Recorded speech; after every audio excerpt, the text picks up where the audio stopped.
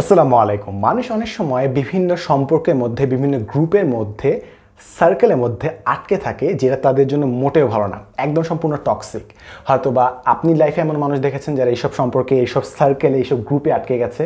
হয়তো বা আপনি একসময় ছিলেন, অথবা আল্লাহ না করুক, আপনি হয়তো এখন নিজে এরকম কোনো একটা অবস্থায় আটকে আছেন। তো আমি আমার পার্সপেক্টিভ শেয়ার করব যে, কোন সাইকোলজিক্যাল কারণে মানুষ এসব গ্রুপ থেকে চাইলেও বের হতে পারে না? আমি দুইটা সাইড থেকে এক্সপ্লেন করব। ফার্স্ট জিনিস হচ্ছে অনেক সময় মানুষ এইসব গ্রুপে ইচ্ছা না করলেও রয়ে যায়, কারণ তারা ভয় পায় যে তাদের কথা না মানলে তারা গ্রুপ থেকে বের হয়ে যাবে। এমন জায়গায় তারা খেতে যাচ্ছে যেখানে খাওয়ার সামর্থ্য আপনার নাই আপনার খেতেও ইচ্ছা করছে না বাট টাকার পয়সা খরচ করে আপনি ওইখানে যাচ্ছেন জাস্ট ওদের কথায় সায় দেওয়ার জন্য। যদি সায় না দেন তাহলে আপনার ভয় যে তারা আপনাকে আর গ্রুপে রাখবে না। এবং ওইটা মানুষকে অনেক তাড়িত করে ফেলে, অনেক ভয় পাইয়ে দেয় যে, আরে, আমি যদি গ্রুপ থেকে বের হয়ে যাই, তাহলে আমার কি হবে? কারণ সবাই চাই যে একটা গ্রুপে একটা সার্কেলের মধ্যে থাকতে, একটা বিলং করতে। এখন আপনি কোনো একটা গ্রুপে ঢুকে গেছেন, আপনি চাইলেও বের হতে পারবেন না। কারণ আপনি যদি বের হতে যান, আপনাকে নতুন সম্পর্ক করতে হবে, নতুন ফ্রেন্ডশিপ তৈরি করতে হবে এফোর্ট দিতে হবে সোশ্যাল এফোর্ট দিতে হবে, তারপর আপনি আরেকটা গ্রুপে ঢুকবেন। তাই অনেকে এই সোশ্যাল স্কিলসটাই নেই যে তারা অন্য মানুষের সাথে আবার ফ্রেন্ডশিপ তৈরি করবে, নতুন একটা গ্রুপে পার্ট হবে।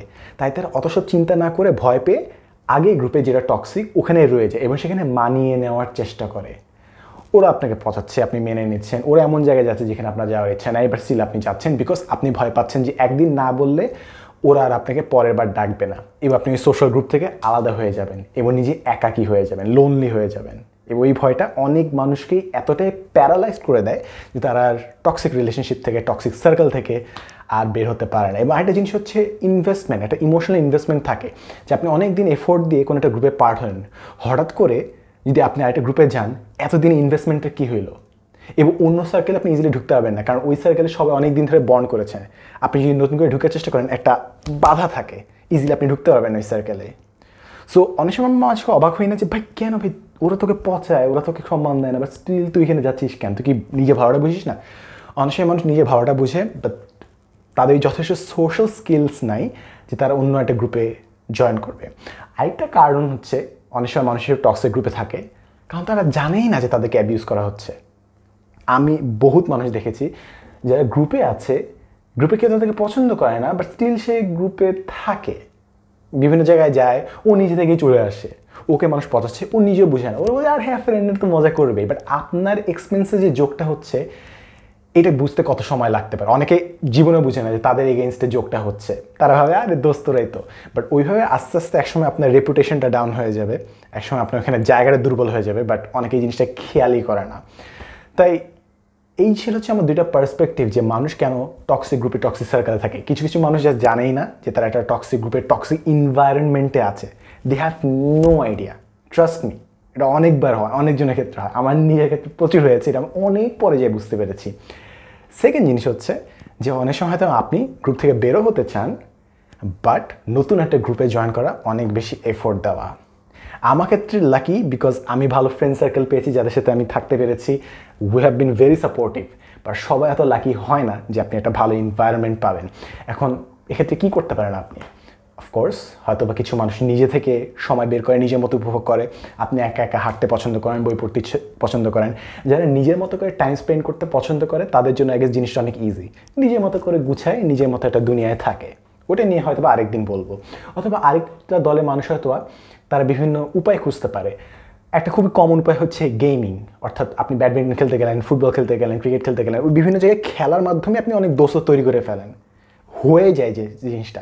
বাট যত আপনি বড় হতে থাকেন, ওই খেলাগুলো ইজিলি হয় না।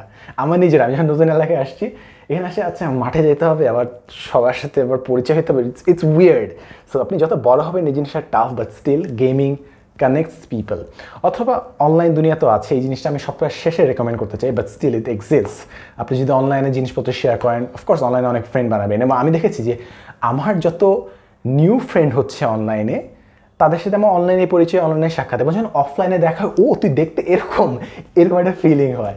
But still it's a bond it's a group and আমার হয়, আপনি যদি একদম লোনলি ফিল করেন ইট মাইট হেল্প এবং লোনলিনেস মানে হচ্ছে একাকি একাকি থাকা এমন না।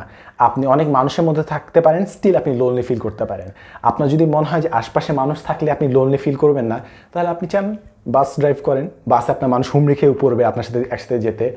কিংবা যেন আপনি বাজারে বসে থাকেন, প্রচুর মানুষ এখানে, কিংবা সুপার শপিং কমপ্লেক্সে বসে থাকেন, অনেক মানুষ আসে বাট আমরা বুঝি ইটস অ্যান ইমোশনাল কানেকশন এবং অনেক ক্ষেত্রে হয়তো আপনার জন্য যেই সার্কেলে আছেন, আপনি গ্রুপে আছেন, সেটা আপনার জন্য ভালো না। এবং মেবি আপনি স্কেপ করতে পারছেন না, কারণ আপনি জানেন না। যে এই গ্রুপটা যদি না থাকে, এরপরে আপনার কী থাকবে? সো আই ডোন্ট থিঙ্ক যে আপনি এই জিনিসটা ভয় পাওয়া উচিত। কারণ একটা টক্সিক গ্রুপে থাকার চেয়ে নিজের মতো করে থাকা অনেক ভালো ভাই।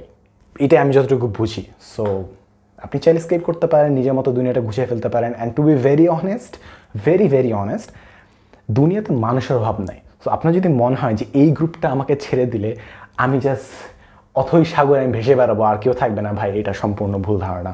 আপনি জাস্ট সোশ্যাল স্কিলস ডেভেলপ করেন, নতুন নতুন জায়গায় মিট করার চেষ্টা করেন কোনো ক্লাবে জয়েন করেন গ্রুপে জয়েন করেন অফকোর্স এমন এক দুইজন মানুষ পাবেন যারা অফকোর্স তার সাথে, আপনার সাথে ফ্রেন্ডশিপ করতে চাবে এবং ভালোই কথাবার্তা হবে তাদের সাথে। So yeah there is that এবার আপনি যদি এখানে শেয়ার করছি থাকে প্লিজ আমাকে কমেন্ট সেকশন অফকোর্স অফকোর্স জানাবেন, কারণ আমি খুবই ছোট্ট একটা পার্সপেক্টিভ দিয়েছি এবং এখানে কিন্তু কোনো সলিউশন আমি দেইনি বেসিক্যালি আমি জাস্ট শেয়ার করলাম যে কেন অনেক সময় মানুষ এগুলো থেকে বের হতে পারে না। একটা ইমোশনাল ইনভেস্টমেন্ট থাকে, তাদের সোশ্যাল স্কিলস অতটা ডেভেলপ থাকে না, কিংবা তারা ভয় পায় যে তারা অ্যাবান্ডেন্ট হয়ে যাবে। অর্থাৎ মানুষ তাকে পরিত্যাগ করবে। সো এই পরিত্যক্ত হওয়ার ফিলিংটা অনেকে হ্যান্ডেল করতে পারে না। এর চেয়ে তারা টক্সিসিটি হ্যান্ডেল করতে পছন্দ করে। সো আপনার যদি কোনো অপিনিয়ন থাকে, যদি কোনো শেয়ার করার কিছু থাকে যে, ভাই, এই সাইকোলজি অন্যভাবে কাজ করে কিংবা আমার স্কুল লাইফে এই জিনিসটা হয়েছিল প্লিজ কমেন্ট সেকশনে আমাকে জানাবেন, কারণ আমি খালি আমার লাইফ থেকে বলতে পারি। অ্যান্ড এখানে আরও হাজার খানেক মানুষ আছেন। আপনাদের এক একজনের এক্সপিরিয়েন্স আমার মনে হয় ডিফারেন্ট ডিফারেন্ট পার্সপেক্টিভ তুলে দেবে। যেগুলো বুঝলে আই বিলিভ আমাদের একটা হোলিস্টিক একটা সম্পূর্ণ ধারণা আসবে যে কীভাবে আমরা এই পয়েন্ট থেকে বের হতে পারব, কিংবা আপনি হয়তো এই সিচুয়েশনটা খুব ভালো মতো হ্যান্ডেল করেছেন সো ওইখান থেকে হয়তো অনেকে কিছু শিখতে পারবে। So yeah do let me know and as always thanks for watching